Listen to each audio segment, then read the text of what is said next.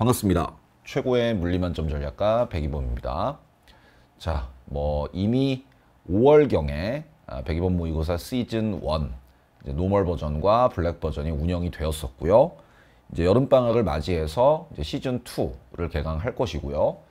어, 이미 뭐 normal 버전 같은 경우는 강의가 올라가 있죠. 어, black 버전도 마찬가지고 아마 OT를 1강을 듣고 OT를 보시는 분들도 좀 계실 것 같긴 한데 일단 어떻게 진행을 할지 그리고 회차 구성이 어떻게 되는지 어, 난이도는 어떤지 뭐 난이도는 미리 알려드리면 일종의 뭐 스포일러가 될 수는 있는데 어쨌든 뭐 그렇게 좀 설명을 좀 해보도록 하겠습니다. 자 올해 이제 제가 어, two track으로 어, 60회분 수준별 그 다음에 성격이 좀 다른 형태의 모의고사를 이제 진행을 한다. 뭐 이 부분은 이제 어느 정도는 공유가 되었을 거라고 생각을 해요. 그리고 이미 시즌 1에서 경험을 했을 거기 때문에. 그래서 뭐 당연한 거지만 뭐 작년 모의고사 문제, 작년에 제 모의고사 문제나 뭐 엔제를 풀었던 학생들, 뭐 모의고사뿐만 아니라 작년에 제가 운영했던 문제와도 단 한 문제도 겹치지 않습니다. 완전히 새로운 문항들이에요. 그 다음에 노말이나 블랙도 뭐 노말과 블랙이 어느 정도 문제를 공유하느냐 뭐 이제 이런 질문들이 좀 있어요. 뭐 당연하게도 그렇게 좀 효율적으로 별로 그렇게 비중이 높지 않은 문항들은 뭐 섞어서 쓰는 거 아닙니까? 뭐 예를 들면 전자기파 문제라든지 물질의 자성 문제라든지 뭐 이런 사소한 문항들 있잖아요. 수소원자라든지 뭐 이런 거 쉬운 거 그런 건 좀 중복되지 않냐. 두 개 다 사기가 좀 꺼림칙하다. 뭐 이렇게 말씀을 하시는데 그런 사소하고도 쉬운 문제조차도 단 한 문제도 중복되지 않습니다. 완전히 새로 제작한 작년 문제와도 한 문제도 중복되지 않고요. 그 다음에 normal black도 서로 겹치는 문제가 없어요. 자, 그 다음에 이제 뭐 제가 정규 모의고사는 60회를 진행을 하는데 그 이외에도 뭐 이미 비라이브를 두 차례 실시했잖아요. 뭐 비라이브 모의고사, 여러분들이 뭐 전국 모의고사의 형태로 응시할 수 있는 이제 8월 달에 마지막 비라이브 모의고사를 또 실시를 할 텐데 3회차가 요것도 한 문제도 안 겹칩니다. 당연히 어떤 어떤 회차 뭐 어떤 어 그 수준을 따라오더라도 구성을 따라오더라도 절대 한 문제도 겹치지 않는다는 거 비라이브 모의고사 3회분 제공을 하고 있고 그 다음에 수완 변형 모고 이번에 이제 일당백 N제에서 부록으로 제공을 할 예정입니다. 이미 삼순환 기출특강에서 수특 변형 모고를 3회분 실시했죠. 그러니까 제가 올해 이제 총 운영하게 될 모의고사는 공식적으로는 69회입니다. 물리학 원 같은 경우에. 근데 이제 또 있어요. 사실 이제 plan B 16 플러스 4 트레이닝이라는 강좌가 8월 달에 이제 개강을 할 텐데 그 강좌도 사실은 모의고사 10회분이나 다름이 없어요. 그렇기 때문에 사실 뭐 제 full커리를 따라온다라고 하면 모의고사를 총 B Live 포함해서 79회분을 푸는 셈이다. 그렇게 알고 계시면 됩니다. 어마어마하죠. 그러니까 사실 뭐 다 들으란 얘기가 아닙니다. 뭐 이제 본인의 상태, 본인의 학습 수준에 맞춰서 학습 단계에 맞춰서 필요한 것들을 잘 뽑아 먹어라. 뭐 그런 말씀을 드리고 싶고요. 어쨌든 뭐 여러분들이 뭐 컨텐츠가 부족해서 예? 그래서 이런 이제 일도 있었잖아. 아 인간 컨텐츠는 워낙 오픈돼 있고 인간 컨텐츠만으로는 조금 공부 공부량이 학습량이 좀 부족한 느낌이다. 연습량이 부족한 느낌이다 해서 막 현장 강의도 가고 뭐 이랬는데 그것조차도 뭐 제가 뭐 현장 강의를 뭐 배척하는 건 아닙니다만 뭐 영향을 주고자 하는 건 아닙니다만 어쨌든 뭐 비싼 돈을 내면서 현장 강의를 굳이 다녀야 되느냐 뭐그 정도로 좀 풍부한 컨텐츠를 제공하려고 노력을 하고 있다. 이미 먼저 공지가 되었잖아요. 그러니까 이제 시즌 1에서 2회분 normal 버전입니다. normal 버전 2회분을 진행을 해서 완강을 했고요. 이제 개강을 했습니다. 4회분 7월. 어 뭐 여러분들이 뭐 시기별로 딱 알기 좋게 분류를 하자면 7월, 8월, 9월, 10월이에요. 매달이죠. 매달. 매달 이렇게.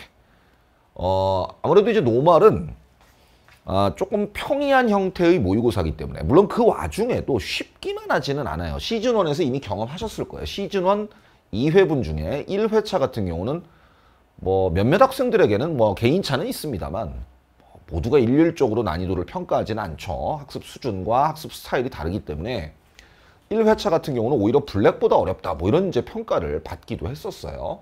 그런 건 이제 저희 기준 저희가 가지고 있는 기준에 의해서 분류는 하지만 그 안에서도 난이도는 굉장히 유형은 굉장히 다양하게 분포한다. 그러니까 normal을 가지고도 수능을 대비하는 데는 부족함이 없도록 그렇게 구성을 했습니다. 근데 어쨌든 뭐 상대적으로 평이한 난이도의 모의고사다 보니까 후반 회차에 조금 집중을 시켰어요. 아무래도 요 10월 어, 중순 요 이후부터 이제 한 달 정도는 사실상 실모의 시기죠. final 시기이면서. 그래서 여기에다 좀 많이 배치했고 전반부에는 적절히 뭐 일주일에 한 회차 정도씩 따라오면은 충분히 규칙적으로 이제 여러분들이 진단하고 보완할 수 있는 그런 형태로 제작을 했습니다. 그 다음 이제 black 회차 같은 경우는 이제 조금 전반부에 좀 많이 배치를 했어요. 아무래도 좀 어, 중상위권 이상의 수준이 좀 있는 학생들이 블랙을 좀 많이 선호할 거기 때문에 모래주머니 효과가 조금 강조된 거잖아요. 평균 난이도가 좀 높습니다. 물론 또 블랙이라고 해서 그냥 실전성이 떨어질 만큼 그러니까 30분 안에 풀기가 도저히 불가능할 만큼의 그런 좀 모래주머니 효과만 강조된 모의고사는 아니에요. 그 와중에도 또 상대적으로 평이한 또 상대적으로 괴랄한 뭐 그런 모의고사들이 다양하게 variation을 최대한 다양하게 줬다라는 거. 이번 시즌2는 6회분으로 구성돼 있고 8월에도 6회분.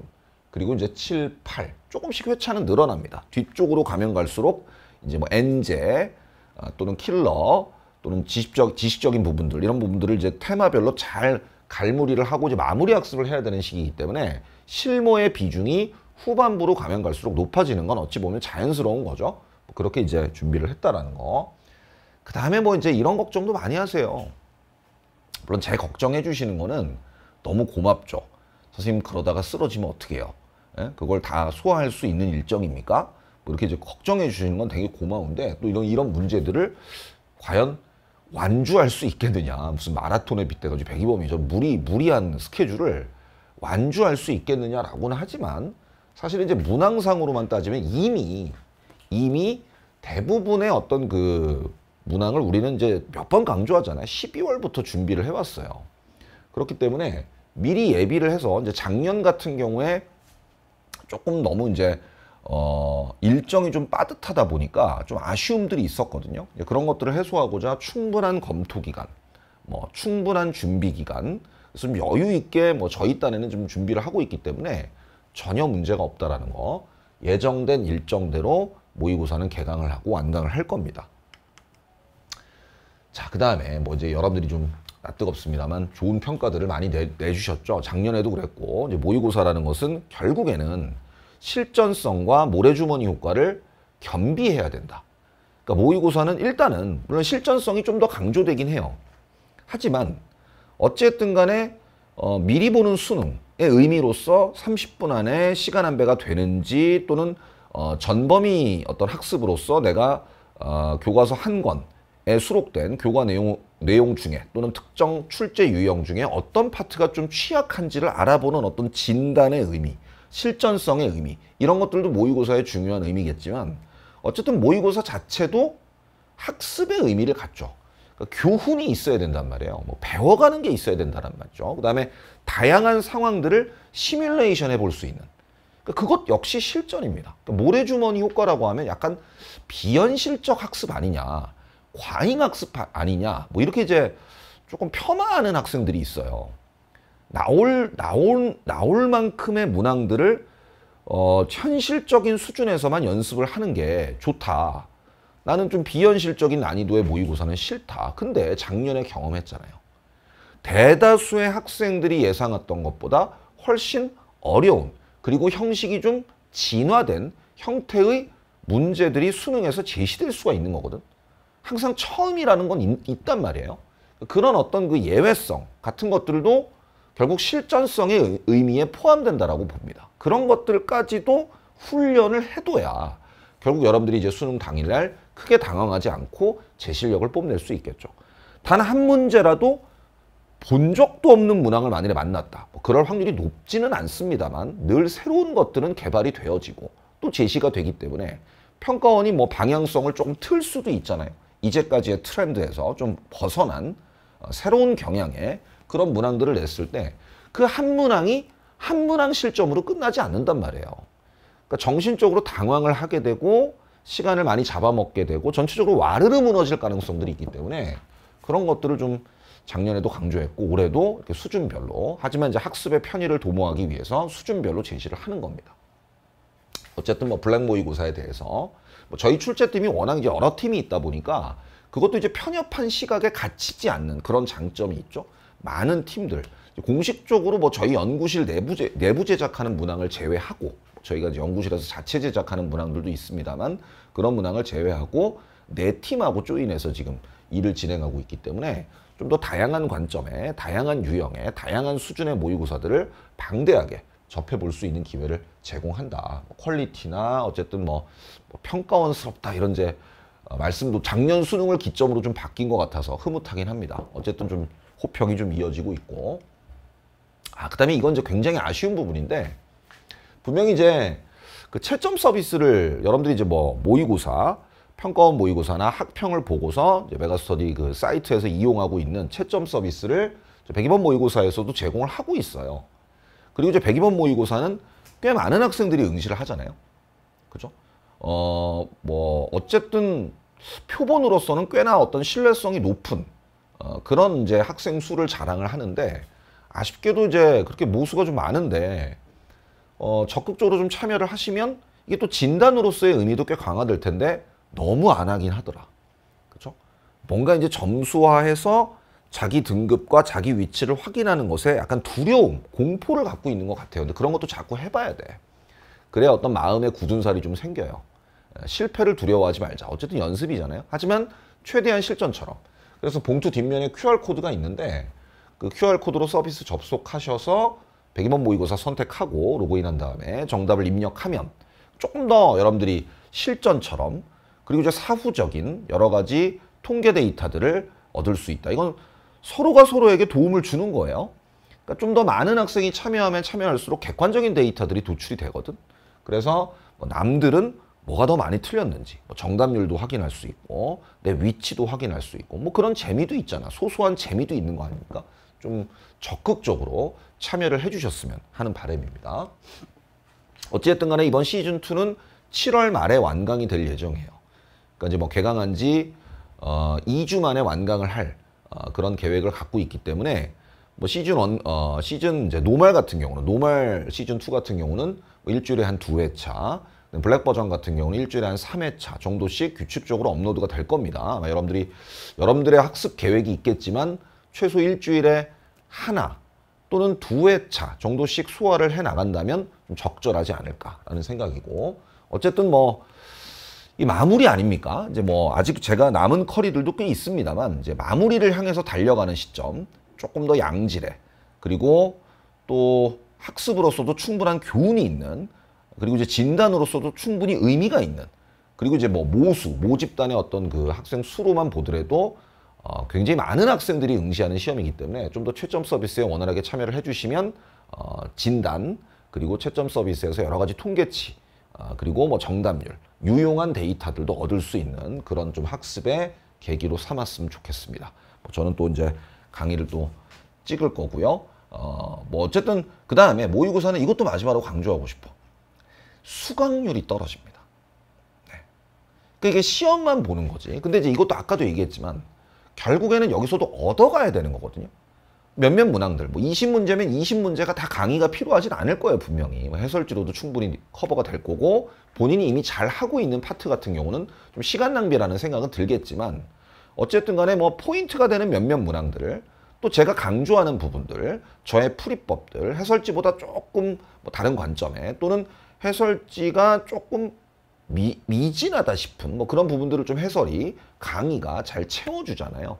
그러니까 조금 시간을 내서 너무 문제만 이제 구해서 책만 사서 풀 생각하지 말고 강의도 좀 참조하시면서 어쨌든 여러분들 대부분 배속 기능 활용하시니까 제가 뭐 60분에서 70분 회차당 보통 60분에서 70분 분량의 해설 강의를 업로드를 해드리는데 실제로 수강하는 시간은 full로 보더라도 뭐 한 40분 배속 기능 활용하면 근데 거기다 또뭐 indexing 해가지고 어 본인이 필요한 문항만 선별해서 들으면 그마저도 한 2, 30분 정도만 투자하면 어 여기서는 이 문제에선 백이범이 어떤 부분을 강조하더라 문제 조건 분석상 또는 풀이 방법론상 어떤 부분이 좀 중요하더라 이 문제에서 유의해야 될 사항은 뭐더라? 팁들을 또 이렇게 입체적으로 저와 함께 얻어갈 수 있는 거거든요.